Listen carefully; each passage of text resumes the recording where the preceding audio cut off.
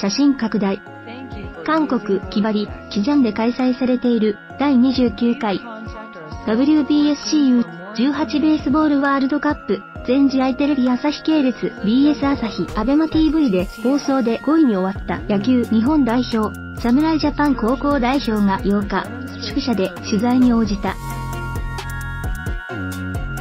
永田裕二監督はプレッシャーを緩和できなかったのは私の責任。悔しいの一言ですと振り返った。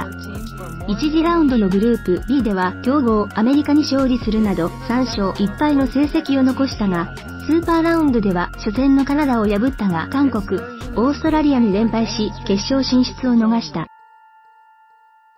一夜明けて指揮官は1試合1試合が必死だった。選手たちも疲労感があり頂点を取るのは難しかった。爆発してくれたところもあったし、勝たないといけない重圧を緩和できなかった。それを監督ができなかった。悔しいの一言ですと反省を口にした。各国の戦力については、昔とチームカラーは変わっていないが、レベル的には上がっていると分析していた。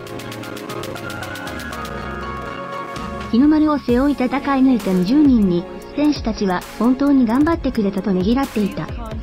橋本健吾、健吾橋本。